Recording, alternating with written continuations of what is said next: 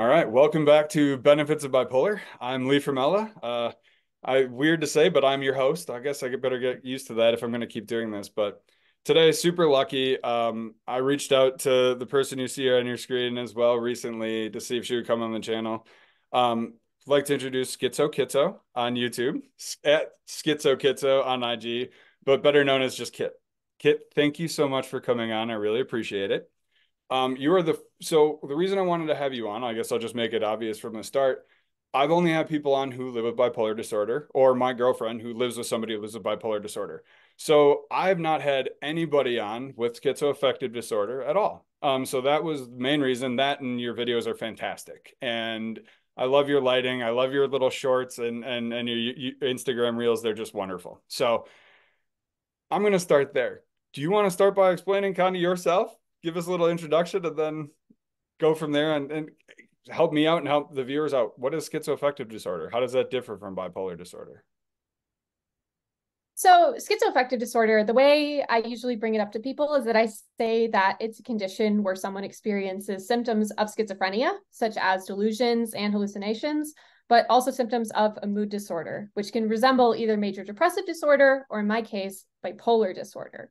The biggest difference between schizoaffective disorder and bipolar disorder with psychotic features is that by, di- by diagnosis, by the textbook, essentially, one has to have psychotic symptoms outside of a mood episode for a period of two weeks or longer in order to be diagnosed with schizoaffective disorder. If the psychosis only happens when you're in a mood episode, then it's bipolar. Okay, thank you. That, that makes so much more sense. I, I love how all of these, the DSM 5 is in weeks like it's it's very laid out. You have to have a certain amount of week for it to be mania in bipolar disorder, and apparently it's got to be say again two weeks. Two weeks or longer, yeah. Okay, outside of an episode. So that's the main. Outside difference. of a mood episode. Yeah, okay. so you essentially have to have psychotic symptoms and mood symptoms together congruently, and then you also have to have psychotic symptoms outside of that mood episode for two weeks or longer. Okay, dang that is not only confusing but to, to get the diagnosis but i can't imagine how much confusing that must be for you to try and keep track of then which one you're going through if you're going through either one of those at all. Is, that the case also? Well really for me it's not as it sounds complicated like what i just said sounds complicated but really for me it's almost like i just have like bipolar 1 disorder with voices so it's like oh. I have everything that bipolar one disorder has, but then I also just have voices that I hear when I'm not in episodes. Sure. So which one, or uh, let me ask you this then: Were you diagnosed with schizoaffective disorder right away, or did it take a few? Yeah. Okay. That, I'm not gonna lie, I kind of saw a little bit of online, but I wanted to ask and make sure because it wasn't. Your smile says it all. Walk us through it, Kit. Well, where did it start? oh my gosh! So when I was in the eighth grade, although actually you can go even further back than that. So when I was younger, when I was really little, I used to get in these things that I would call cleaning moods, where I would just get this urge to clean anything and everything. And I do it until like 1 or 2 a.m. to the point where when my mother would tell me to clean my room, I'd be like, just wait till I have a cleaning mood and then I'll do it. Looking back on it, those were probably my earliest manic symptoms. How old like, were you? Lack of a better term. It's like I as long back as I can remember, really? like five, okay, six, seven, sure. maybe yeah. yeah i mean it's just i i just called them cleaning moods um but yeah. things didn't really start getting like worse until i was in the eighth grade and in eighth grade a lot of things happened to me i started experiencing depression for the first time i didn't even think about any hypomanic anything but i started experiencing depression and that was when the first voice in my head showed up so wow. i started talking with him one night and then it's just like he just never went away he was just always there his name was twilight he was pretty cool um, but I went to my parents and I said, Hey, I think I'm depressed. I didn't mention the voice, but I'm like, sure. I think I'm depressed. I think I need to see someone. They both, bless their hearts, they didn't know anything about mental health. They're like, no, no, no, you're fine. Just deal with it kind of thing. Um, so, and really, like I said, they didn't really know any better because back right. then mental health wasn't nearly as a big of a deal as it is today. Um, yeah. but from like from the time between eighth grade to my senior year of high school, things steadily got worse to the point mm. where when it was my senior year, I was 18. And I remember being happy in one class and then sad the next, um, sure. crying sometimes for 30 minutes. And then after that, I'd be like, ties a kite. And it was yeah. this rapid cycling mess. Um, it'd probably be something similar to mixed episodes at this yep. point, but it was just sure. it was just a really bad up and down by the hour thing for me. And I remember swinging on a hammock with my boyfriend at the time, saying, "Hey, do you think I might be bipolar?" And he went, "Maybe."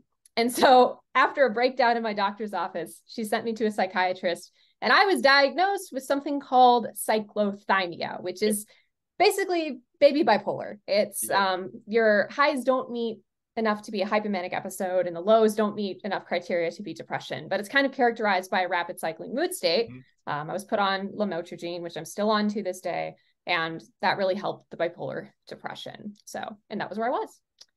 Then i went to college. College was stressful. So probably yeah. I, I started yeah, college college was stressful. I'm amazed I made it. I'm amazed I made it through, made it through.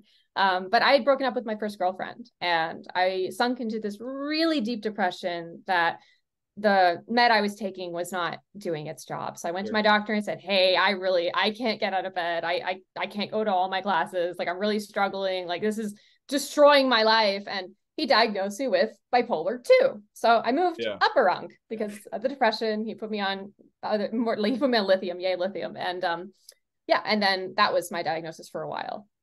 And I kind of wasn't really getting the medication I needed because I was keeping out the fact that I was experiencing psychosis. Oh. And I didn't know that I was experiencing psychosis, but I had these voices that I would hear. They were regulars and I would hear them constantly and hmm. they would talk to me, but it wasn't distracting. Like they would stay away when I was like doing homework or something. And then they'd help me out on a test. Frankly, like they were my friends. Like honestly, they were my friends. I didn't really have mean ones or anything. So I didn't see them as a problem. And they were also on the inside of my head. So it wasn't like I was hearing them as someone was in the room with me. They were inside my head like thoughts. And I didn't know that that could be a thing. So I thought it was just me creative talking to myself, creatively talking to myself. Yeah. So more time passes. I'm like sitting in the bipolar 2 diagnosis, dealing with depression and all that stuff. And then, then in 2018, I graduated. I graduated college and I moved to New York City. And there was where I had my psychotic break, lost absolutely everything. And my doctor, who I had told what had happened, like, hey, I hear these voices, hear everything. He actually diagnosed me with bipolar one disorder. Okay. Okay. And so I was like, okay, I'm bipolar now, like bipolar one now. Okay, this is the thing. And more time passed. And I'm like, I should really tell him that I hear the voices all the time.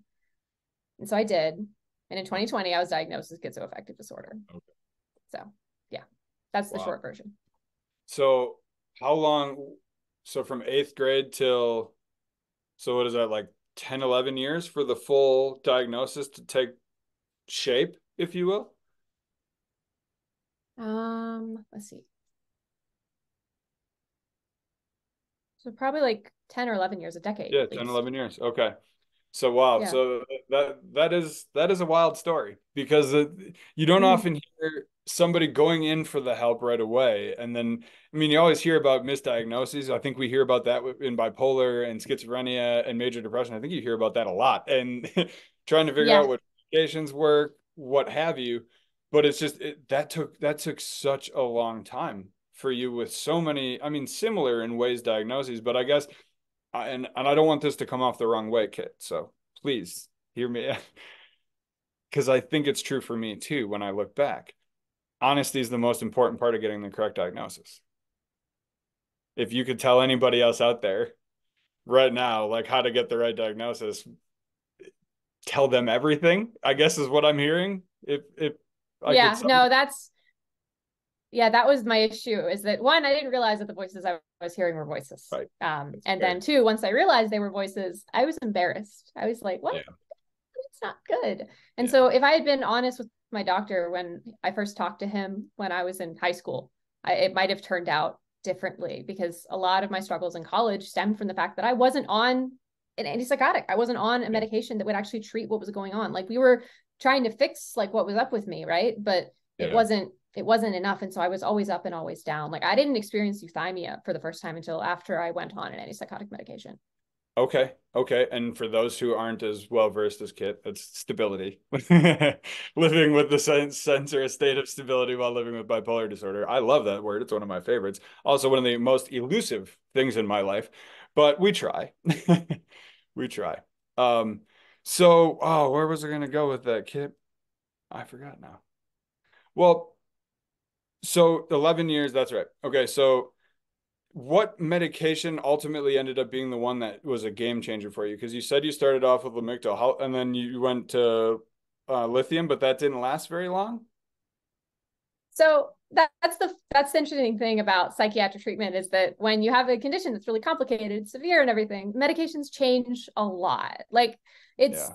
Just because I'm on one medication two years ago doesn't mean I'm going to be on the same one today, and it definitely doesn't mean I'm going to be on the same dosage. So it took it took a while. So I went on lamotrigine in high school and I still take that one to this day. I take almost the same dose I've taken the entire time. And that one still helps treat my bipolar depression for sure. Like I know it does because every time we try to lower it, I just get depressed again. Not cool.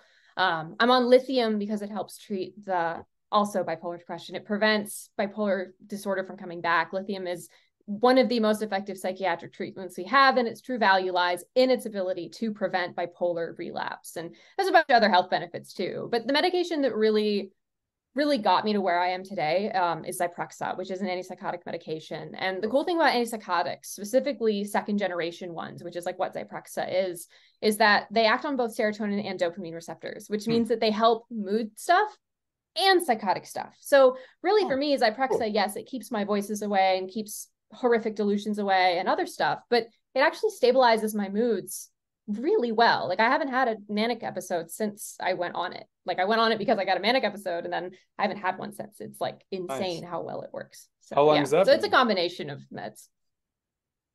How long has that been then? Since I've been on Zyprexa? Yeah.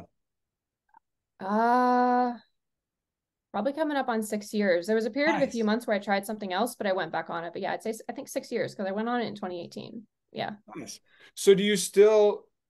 I guess one of my curiosities then. So you haven't had a manic episode in six years then? Is that accurate? Mm-hmm. That's awesome. Yeah, manic. Yes, manic, mm-hmm. not hypomanic. Manic. Yeah, right, man. Oh, okay. All right. So there, okay. there comes the, the my next question. So you still obviously by your smile and that clarification you do still have episodes. They're still they're just more in range. Does with the antipsychotic, do you still have the voices and the delusions just in a similar way where they're in a more manageable range, or what does that look like now for you?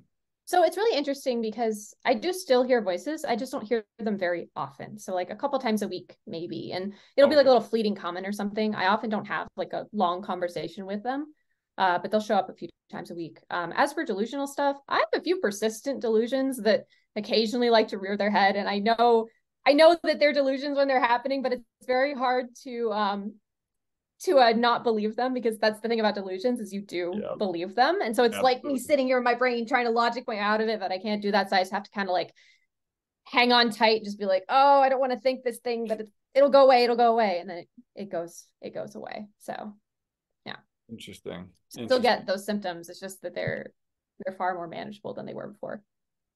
Huh. So what is so when I hear I'm sorry, I'm just very fascinated by this because when I hear you say something like that where it's a delusion or a delusional thought, it's like God dang, if I didn't have those when I was before I was diagnosed, I mean that's exactly what it sounded like my brain was doing. I would get just focused on a suicidal thought. somebody at work hates me and they're trying to get me fired and they're trying to take all my money or whatever else. And that's the only thing I'm thinking.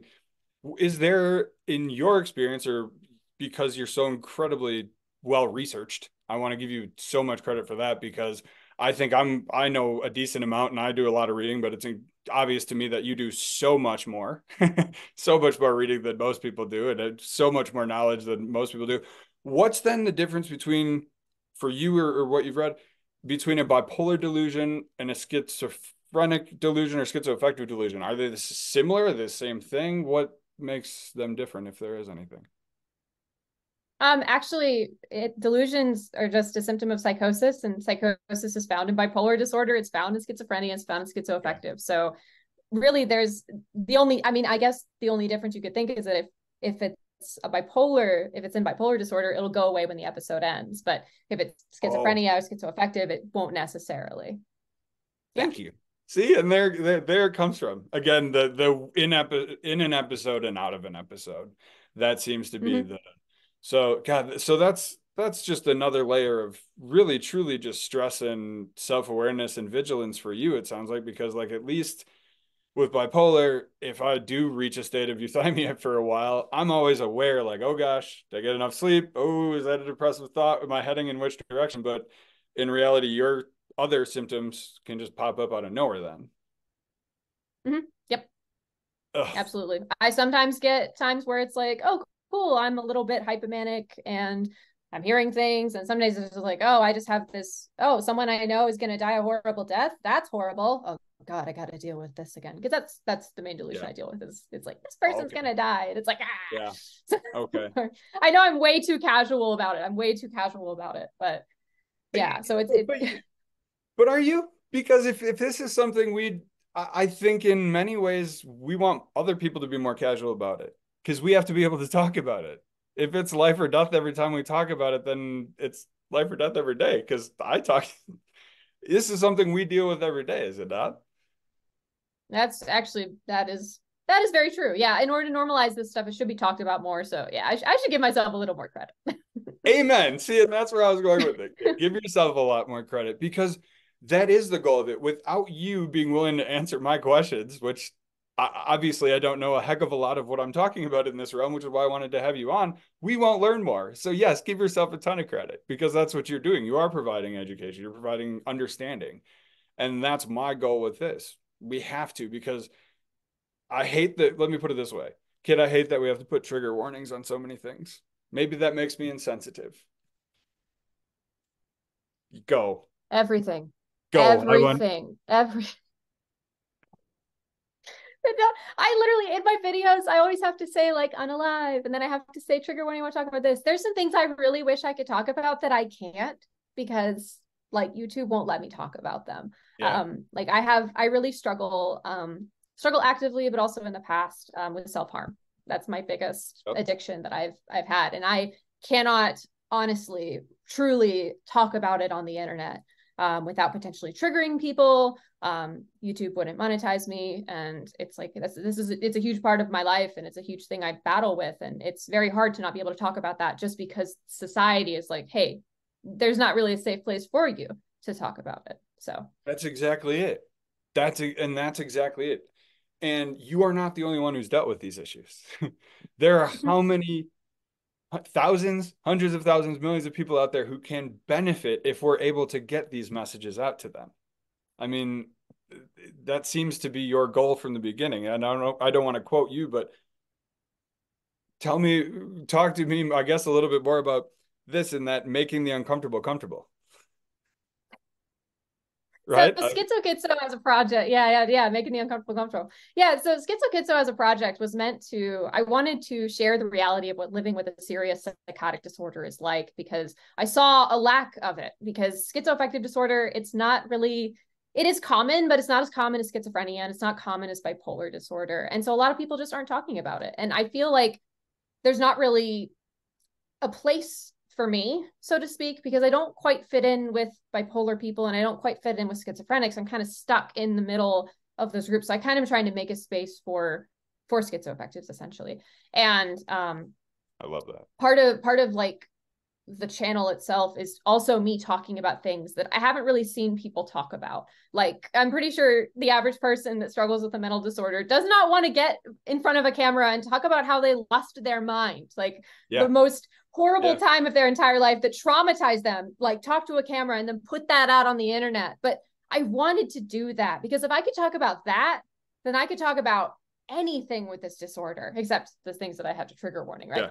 Yeah. But it was so when I was originally coming up with the idea for the channel, I was talking with my dad and I said, Dad, what if I just what if it was just like it's it's about making the uncomfortable comfortable? And he's like, that's the tagline. Um, and that's really what I try to live by because there's many times where like I will upload a video and I'm just like, do I really want to do this? Do I really want to put this out there? And then I have to remember making the uncomfortable comfortable. You're uncomfortable. If you want things to be normalized, you got to put it out there. You got to put it out there. And so I do. I show up, I post things, and I keep making videos. And I'd like to tell you that it's gotten easier since I made the channel, but I still get incredibly uncomfortable all the time with just videos that I spend hours on, hours and hours and hours on. And it's just like, do I really want to put this out there?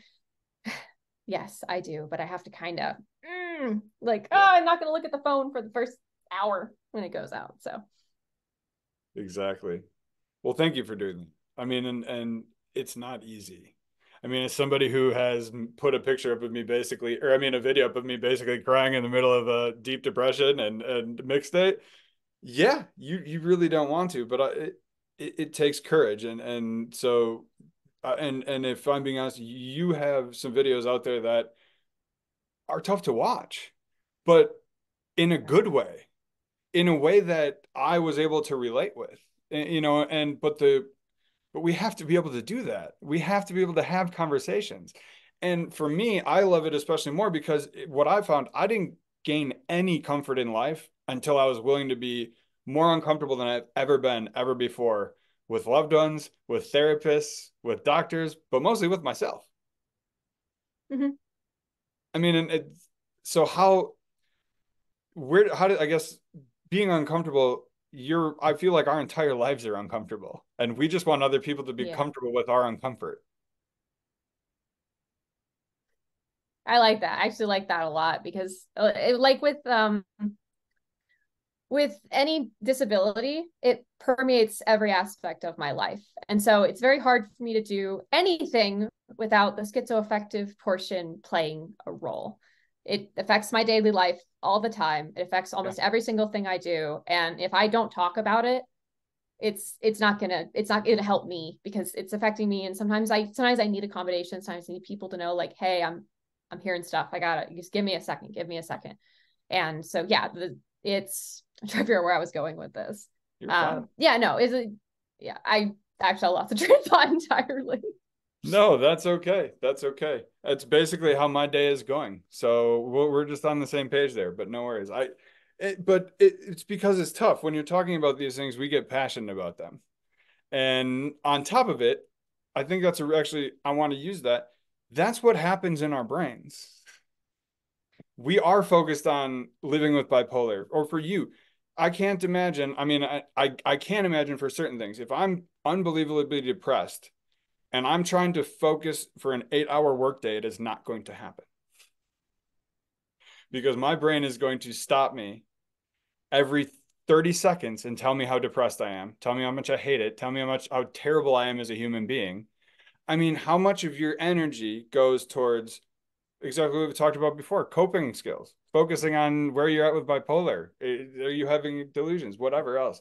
So, that I guess that kind of brings it back around to manage all of the, the, everything that you deal with, what are some of the coping skills that you have found? Because I know you said you just you dig in and get through it, but I I know you're too I know you're much much much smarter and much much much more knowledgeable than that, and probably have a full list of coping skills, life skills, and things that you've come up with. What are some of the ones that work best for you when things get really really bad, or just in general? What do you do every day to make sure that they don't get that bad?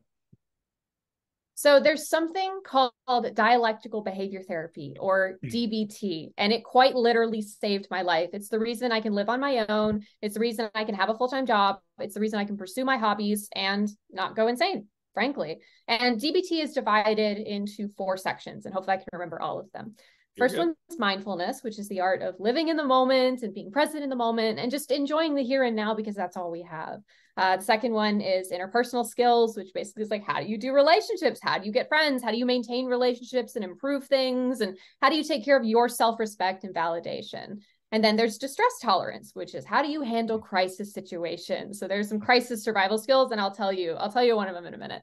And then the fourth thing is emotion regulation. And as someone who has really out of control emotions, that was a very important module for me because I was all over the place. DBT mm-hmm. was originally made by a lady named Marsha Linehan, and she's absolutely brilliant. I've read her autobiography. She's a brilliant person. And she made it for people with very out of control emotions specific to that of borderline personality disorder. But it's also used to treat a wide variety of conditions. People mm-hmm. use it in eating disorders, they use it in bipolar disorder, they use it in depression. And there's even a DBT specifically for addiction. So it's all over oh. the place now. So yeah, so that's that's really that's the basics of DBT. But my favorite skills are ones that there's a distress tolerance skill called TIP, and it's an acronym because DBT it's all about acronym. But the best way I can put it is if you have a bucket, just a bucket of ice water, and you're really panicking and everything's going really bad, and you hold your breath and you dunk your face in the ice water and you hold it there for like 30, 45 seconds. And then you get back up, you'll feel better. It's crazy, but it works. Yeah. So, and there's easier ways to do it too. Like you can, go ahead, go ahead. What? No, wait. So let me clarify. You actually take your face, and I'm not making fun. I I just I need. So if you're having, let's say you you your brain is going, you can't stop, you getting worse and worse and worse. You will take a bucket of ice water and dip your face in it for 30 to 45 seconds. When I was early in recovery trying to get my life together, yes. I Absolutely. did it sometimes multiple times a day. It was it was intense, yeah. So it it it really works because it it activates this thing called the mammalian dive reflex, which is like when mammals and we're mammals, right? Yeah. Uh, yeah. When you dive, it's like your your brain goes, oh my god, we're in water. We need to like slow down our heart rate and our oh. blood pressure and stabilize all our vitals. And so you activate that by dunking your face in the water and it calms your vital signs. So any panic you're oh. feeling, any anxiety you're feeling, it'll go it'll go away. And there's other ways to do this too. You can yeah. also breathe like breathe in for a little while, like say you breathe in for 4 seconds, then breathe out for 6 to 8 seconds. That will also calm the vital systems by way of activating your vagus nerve. So, and then there's like there's there's several skills in that that whole thing, but the ice water, the ice ice bucket one is like one of my one of my favorites because it saved me so many times in my early recovery days. That's awesome. That's awesome. See now, living in Wisconsin before Minnesota, now I just go outside in the winter, and it was the same thing. But you can also do it with an ice pack on your head, like over your eyes. You can also do it that way. That kind of does it too. I make a joke. You can also splash it, but... water on your face if you hold your breath.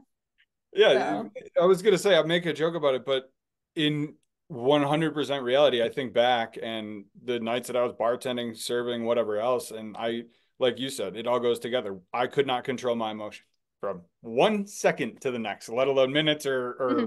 or hours. I mean, it was just each and everything could set me off and whatever else. So you do that all day, and it's just popping over the top.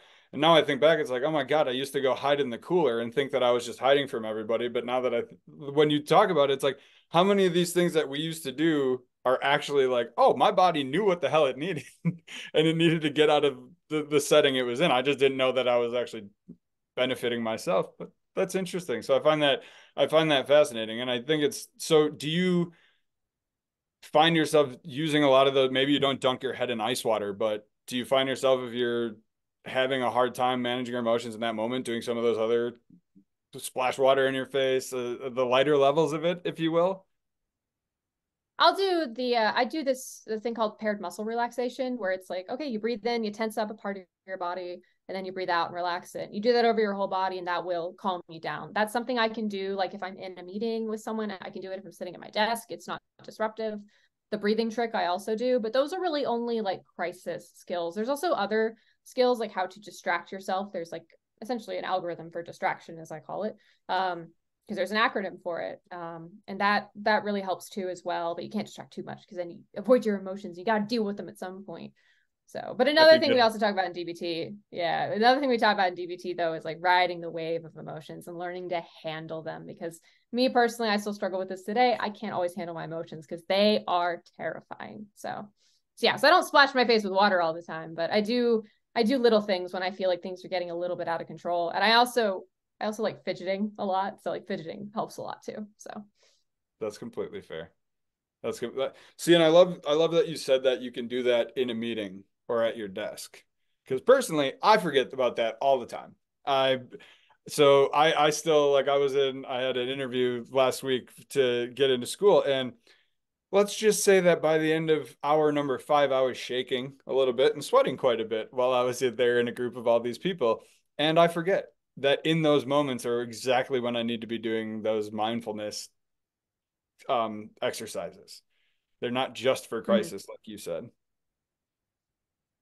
Yeah, it's just like if I start feeling like I, at this point, I use DBT skills like I breathe to the point where I don't always realize I'm I'm using them. Like there's one skill that talks about how to maintain improve relationships. It focuses on being gentle, uh, acting interested, validating the other person, and having an easy manner. Like that's the actual thing. But in reality, what it looks like is, hey, how's your kid? How's your life? All right, I listen to you. Hey, you know, you're valid for saying that, and you know, make a joke or two. And that's really like that's how I deal with relationships, like in the workplace, that I not always, you know, good with. So Yeah. Yeah. So it's great. So, the DBT skills are all over the place too. They're it, it's it's it basically is just a therapy that changes your whole life. Like it was first told to me by my psychiatrist, and he said, just be aware it's a life-changing program. And I'm just like, yes, I'm ready for that because my life is horrible right now.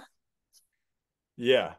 And that's kind of but you still have to be willing to continue with it. And I think this so, you know, I mean, I guess what am I trying to say? I think people often forget it's a lifelong illness. It's yeah. not like we get to fix it or we get to do the DBT and then okay, now we've hit this point, we have the life skills, we're good to go. So what is that? I, I guess how do you manage outside of DBT just from a day to day? I mean, what is I know you kind of mentioned you have a psychiatrist, but what does your team look like? I mean, how how do you who do you who do you all have that you can go to on a bad day? I mean, I know I got my team keeps growing. I got my girlfriend. She's the first one. Bless her heart. I feel so bad for her because she shouldn't be the to take. But you know that it's my dad, that it's my godmother, that it's my therapist, then my psychiatrist, and you know, I there's just so many people that I have that I'm able to call or that I keep begging them, whether they listen or not, to help rein me in, to also be comfortable enough to tell me, you're talking too fast, you seem really down, whatever, things like that. How does that? How do you interact with your team? What does your team look like, and and kind of walk us through that because I'm guessing you have maybe even a few more.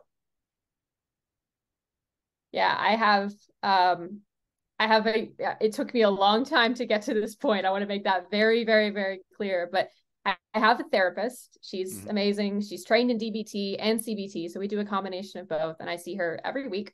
Um, I have a psychiatrist. He's amazing. I've had him for 10 years. Like he's he's awesome. Um, and I see him like every six months or so. But in between all that, I have friends that actually do care about me, which is nice. I it took me a while to get friends that were okay with the fact that I hear voices and maybe fly to other countries on a whim sometimes. So it took me a while to get to that point. But I have I have um, friends that I have in my hobbies. Like I cosplay. That's one of my favorite things to do. Is I love cosplaying. So I have a lot of friends who are also creative and into cosplay and we'll hang out and I'm like, hey, I'm like struggling with this. And they'll be like, all right, let's have a crafting day, that type of thing. Like the crafting day coming up, you can come and see us there. And I have friends from college that I talk to online a lot and they're pretty chill too. But my biggest my biggest support person would probably be my dad, who has been with me from day one for sure. He's he's been there when he's yeah, he, he's just been I, I lived with him for a very long time. And even now, while I do live alone now, he does live a mile down the road from me. So nice. I'm not too yeah. far from him. Yeah. And he has definitely come over to my apartment when I've when I've needed him. And so he's a big part of it. When I was in a psych ward, like I was stuck in a psych ward at one point, uh, he visited me every single day, except for one day when he couldn't make it and he felt really bad about it. But he visited me every single day, and that was like the highlight. of like, yes, my dad's here. Yeah. So that was yeah. great. So he's wonderful. And then I have my best friend who I've also known for um I've known her since I was 2 and it's kind of crazy because she's she's known me over the course of my whole life. So she's watched me go from being just a girl with cleaning moods to being absolutely psychotic in a tiny apartment in New York. Mm-hmm. And the wild thing is that she had a job in an eating disorder facility for a while and they taught DBT there. So she would help teach DBT so when I was going through DBT and like practicing the skills, she would help me go through them. That's so awesome. I call her and I talk to her about stuff that goes through everything, and she's great. Uh, but I mean, I have like I I would I would actually say I have a very large circle of people that I can kind of like spread out the load too, so that not one person is overwhelmed. And I think that's really important when it comes to a support system is that you're not just relying on one person because if that one person can't be there for you, you're screwed. That's not a situation you want to be in. So yeah, and then I have guinea pigs, emotional support animals. They're they're definitely a part of this picture as well. So I love that. How many guinea pigs do you have? Four. Four? Nice. Four guinea pigs. Yep. are you are you planning on having more, or is is this like uh are they going to multiply? Because we had guinea pigs when, when I was growing up, and they they multiplied. So I just I want to be I want to give you a word of caution keep them separate. I, I, I would definitely keep them separate. I only have girls. Even better. I only, I only I only have girl guinea pigs, and the cage can support six, but I'm only going to keep four unless someone's like, I have two guinea pigs that I need to get rid of, and I'll be like, I'll take them, give them to me. So, so I would have six in that in that case. I joke, but I don't actually think I've told anybody. I, definitely don't think I've said this on Instagram. Definitely not on here. I actually have a uh, bearded dragon Um, he was my no way. Yeah, she was my last hypomanic purchase um, before I was diagnosed. I'm not even kidding. I'm not even kidding. I believe you. I totally believe you. I was diagnosed a month later. Um, but yeah, so in 15, 16 years of, of up and downs, I, I ended up with uh, bearded drag as my last hypomanic purchase. I, I, I was coming out of a depression because like my whole family went out to see my sister, and I got really upset by that but I think I made a ton of money then that night at work. And so I woke up with like all this energy and all this money in my pocket the next day. And I went and bought a bearded dragon. And she's still with me. She's brumating now, which means she's sleeping for months, but um, which I would like to be doing. Oh. I'm a little jealous, but um, yeah. Where I was going with that though is it's remarkable. At least for me, I found. Have you found that just having another living being, in your case, four, and cuddly furry ones, unlike mine, but having that responsibility, having something else, is that has that helped you like get out of your own head in, in some ways or how, how do they help you? Because i saw by your smile and i see in all of your stories that they mean a lot to you. So what's really great is that so first off i love that i'm stable enough to have pets. That's that's a big deal to me. And yeah like that's like hey i can take care of four guinea pigs. And the other thing i love about them besides the fact that they enrich my life and are just adorable. Like they're just so cute it's that no matter how I feel, no matter how bad I'm doing, I still have to take care of them. So they provide a level of stability even when I'm unstable because they still have to eat. They still have to get their veggies. They still need water and hay. I can't let them die. So sometimes just if I if I can't go to work because I'm too depressed or if I'm really off the wall and whatnot, it's like, no, I still have to do this. So even if I'm like all chaotic up here, I still have to like, you know, okay, narrow it down, got to take care of the piggies. And I'll find myself sitting in my cage with them often. It's a 36 square foot open top cage. So I put down a little blanket and I sit there and then they run around and eat veggies and everything. It's very pure. I love it so much. But they, yeah, so they, that stability that they provide is really important to me. And I hope to have guinea pigs for a very long time because of that. That's, I love that you said that because you flipped it around and I was trying to get there, but you put it in such better words. You flipped around and said that they provide a level of stability because you have to care for them no matter what. How does like can you go into that a little bit more? I mean, hmm. It, I guess... it's it's kind of like it's giving me responsibility when I feel like I don't really like when I don't when I want to ignore all my responsibilities, they still have responsibility. Yeah. So yeah. it, it's kind of like it, that's it, like if everything falls apart, I still have to take care of the guinea pigs. So it's like okay, they're they are the one. Yeah, they are the, the one unnegotiable thing that I like. I have to take care of them no matter what. Like there is no there's no like I can not go to work, I can avoid social interactions, I can not pick up the phone when my dad calls me, but I have to take care of the guinea pigs. Mm-hmm. So and I think that that's such a between that and what you said before that. When I I mean I was what 33 when I got her and I might have gotten her a few months too early because I wasn't the best, you know, but but I was I'm still I'm now I'm happy like you said I'm stable enough to have a a freaking lizard. but that's where we were coming from. And I think that's important for people to understand. Like we're not coming from your base level living like a normal like a neuro uh, typical person would be living at whatever age we are. I mean, I feel like I had mm-hmm. so many life skills to catch up to. Oh yeah, yeah. Like you're just behind in so many different ways. Is at least how I felt. Did you feel that way as well? Like be like especially with you because it took so long to get the right diagnosis. Did you kind of see like other people kind of like improving on all the things that you wish you could, but it's hard for you to navigate just let alone your diagnosis and let like your own brain let alone life itself yeah it was hard because i I didn't, I was too busy trying to survive and make it through. Yeah. For a long time, since I was seven years old, I really wanted to be a doctor, and that shaped almost every single thing I did. So I would be absolutely off the wall mentally, but I'd be like, okay, I'm focusing on that. Like, I, I have to get this, this, and this. It was like, okay, wanted to go to medical school, and then got to deal with the mental illness. And it just, there wasn't really a lot of room in between. And I kind of grew up in pieces and parts i'd like to say yeah. i didn't yeah. really get real friends until my senior year of college dbt taught me how to relate to people and it, it's and I somehow figured out how to do the whole pay bills, have a bank account, do savings. And like I got a credit card for the first time six months ago, and I'm 28 years old. like, you beat me by I, you beat me by six years, so don't worry. I was 34, so don't worry for a second. Yeah, but You're like killing it. But like I experienced bipolar symptoms. I have like symptoms of bipolar disorder. Like giving me a credit card, that seems like a bad idea. So I avoided it as long as possible. Well, that's better yeah, I feel I like did. I learned things. Sorry. yeah. What did you do? Oh, I maxed out two at 18 because I didn't know I lived with bipolar disorder and I was addicted to gambling. So fortunately, I couldn't take out another one, but my credit score was about 485. And I think the first time I checked my credit score at 28, it was like 520 or something like that. Mm-hmm. Um, so yeah, so it took me the next eight, six to eight years to get it back to respectable enough to get a credit card.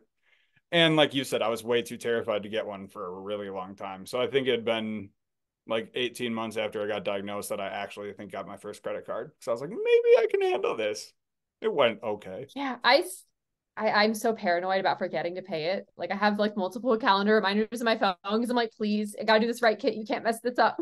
so so do you have like because so that brings an interesting thing. So like for instance, if I feel like I'm heading into hypomania, the first thing I tell my girlfriend, I'm like, hey, just make sure I don't go spend too much money. Or like if I really keep saying I want this and I want this and I want this, maybe bring it up. What do you what kind of is that still something that you deal with i know you said you were nervous about it obviously we all are with bipolar i mean i'm guessing you might have overspent here and there once or twice in your life what kind of uh barriers I hear you go there. What first of all, if you want to tell us any great stories about that, I'm open to all of them. But then following that up with what kind of barriers do you kind of have now? Like what, what have you set up so that those types of things don't happen? You'll put those yourself back in those holes. So first off, when I was in the beginning of what would become my psychotic break, I had a friend who lived at the time. And I was talking to her like, hey, I just came and visited you. And two weeks later, I was in Tokyo.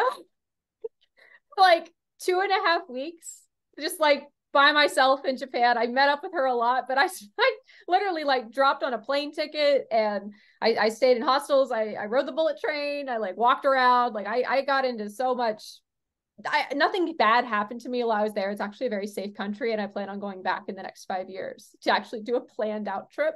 But that is definitely the most manic thing I've ever done, and it was so much fun. I had a great time, but I remember being on the plane on the way over there at the beginning of a 15 hour flight, wondering, "Hey, should I have really done this?" So you went from on yeah. the phone with your friend to on a plane to Tokyo in how long? Two weeks. Yep, two weeks. Yep, I li- I was I was subleasing an apartment in New York, and I had my passport with me because I always carry my passport when I go places. Not like in public normally, but like if I'm going to a city or like a trip for a long period of time. And so yeah, I'm like, oh, I have my passport. on the street. Don't try and steal her passport. She doesn't have it on her. Please don't steal my passport. I would be very upset so yeah yeah world travel is actually one of my biggest passions. So it's nice. like it's, it's not it wasn't my first solo trip. Like i it wasn't just me going to japan not ha- knowing anything about traveling. Like I, I know how to travel. I've done a lot of solo traveling but that was definitely like a uh, hey maybe you should have thought about that a little bit more. So but when it comes to like safeguards to prevent overspending and all of that stuff really i even when I spent a lot of money, it wasn't necessarily big purchases. I remember being in a hypomanic episode at a convention once. It was like an anime convention, and I was really obsessed with this character named Todoroki Shoto from a show called My Hero Academia. And he was this split tone character that I cosplayed. Like I loved cosplaying him. And I got hundreds of dollars worth of prints of him at that con. Like I just hyper fixated on like every print of him that I mm-hmm. could find. It was a very popular anime at the time. I, I still haven't hung them up on my wall. I still have them. They're in like a little folder over in my closet, but I haven't hung them up or done anything with them. And half of them, I'm like, why did I buy this? This is not this is not cool. Why did I do this? yeah. So, re- but really, these days, these days, I I just I, I feel like I'm a little. I hesitate to say smarter about it because I do find myself still spending things sometimes that I probably yeah. shouldn't. but I've been in therapy so long and treatment so long. And yeah, I talk with my dad about the things I buy and my mother too. And um, it's like, you know, hey, I'm thinking about buying this. I go through it, that type of thing. Like, and sometimes it's like, hey, if I want something, I need to wait a week before I buy it. That's another thing. Cause like, what if it is like a little bit of like a hypomanic burst that's trying to make its way out? And, you know, I got to make sure I safeguard against that. So yeah, so I, I'm fortunately I've never gone into debt because of my disorder, oh. and I hope that never happens. Um, so I've been very fortunate in that sense. But I have bought expensive plane tickets and prints of anime boys. I love your delivery of that, but I have bought a plane ticket, a, a plane ticket to Tokyo, but you know that's it's, yeah, it's a little different. It's not like a to the you know across the the country a little bit. No, no, no, across the the big pond. Anyways, no, that's but hyperfix. I guess the only thing I thought of listening to all of that is like, yep, yep, yep. It's so similar, and like that's yeah to kind of come back to the beginning in some ways and kind of start closing things out. It's like that. That's what's so important, you know. And I, I again, thank you for being open about these questions about living with schizoaffective disorder because until I found your account, Kit, I didn't know what it was. I didn't. I figured they were two separate things. In all honesty, yeah, I did. I I mm-hmm. wasn't aware of it. So you are absolutely educating a ton of people out there. Now, I want to kind of ask: Is there, speaking of that, is there anything else about schizoaffective disorder, psychosis, anything along those lines that you want people to know? Because my entire goal, you see it on if anybody the 100 subscribers we have now as you put it out earlier on the banner that it says eliminate the stigma. That is my my only goal. So what are if there's anything you want to leave with people that they should know to help eliminate this thing because i've stood here for 45 minutes with you and i think one of my the thing that you wouldn't be able to tell at all that you're different from anybody else you know? And that's not that shouldn't be a compliment to you or I. I actually kind of hate it when people say that. It's like, yeah, no kidding. I'm a person who lives with bipolar disorder. But I say that because it's so important. So, what is there anything you want to leave leave us with, leave people with about schizoaffective disorder psychosis? Well, for me specifically, I went from losing absolutely everything. I lost my friends. I lost uh, my dream. I lost another dream. I lost my apartment. I lost a bunch of stuff, like just yeah, it, I, I lost everything because of my disorder. And I ended up in a psych ward. I was self harmed to the point where I was possibly going to kill myself. And I, there was a lot of bad stuff going on. And I was really at the bottom at that point. And the thing is, a lot of people who seek help or are forced to seek help are in that bottom. But that's not what it's like all the time. And recovery is possible. For me, it took a lot, a lot, a lot of work. And not every person with schizoaffective disorder looks like me. Not everyone can live alone and have a full-time job. There's a lot of, it's it's a spectrum of what you can do and what you can't do and no person is better than the next. But my whole message that I want to get out there about just schizoaffective disorder in general is that it's not a death sentence, it's not the end of your life and while it might have ruined your life and taken a lot of what you cared about, it you can still come back from it. You can still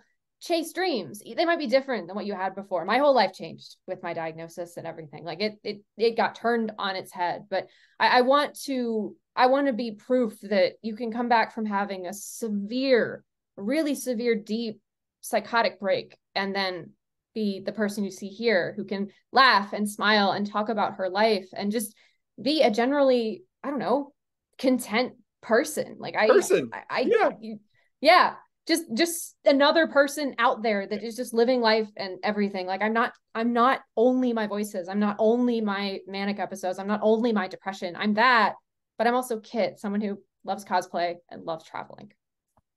And has a lot to offer the world.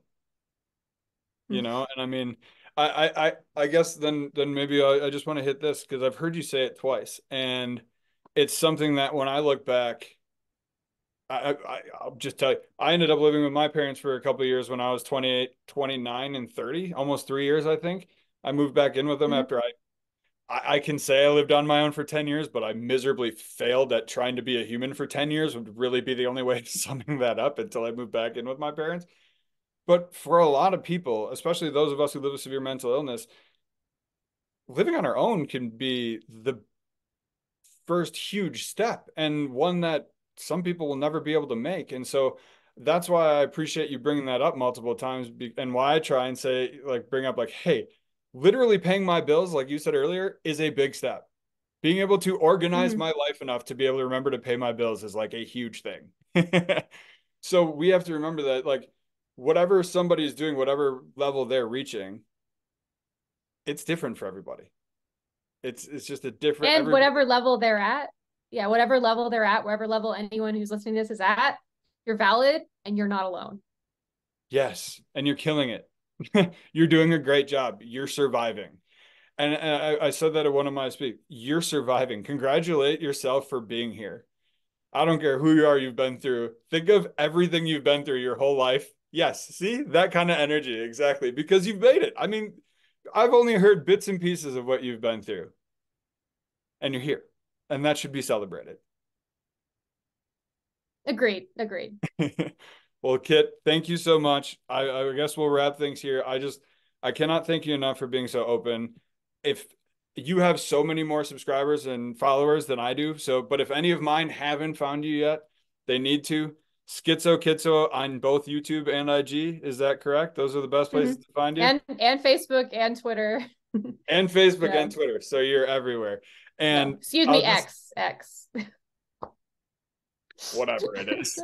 that that one thing but no but seriously her videos are great they're a lot shorter than mine so people will probably watch more of the whole thing which is good but they're interesting you're you're so honest and that I have not seen. I'll, I'll say this: I want my videos that I try and do on the side. I my intention are be as honest and and forthcoming as you are. The the emotion that they bring out of people, I have to assume when they watch it, it was visceral for me, and it really brought me into your world and gave me a better understanding. So if anybody's watching this, go follow Kit. It's incredible and just appreciate everything thank you for being on. And uh, hopefully we will uh, be able to do this again soon. awesome. Thanks, Lee. Thanks, Kit.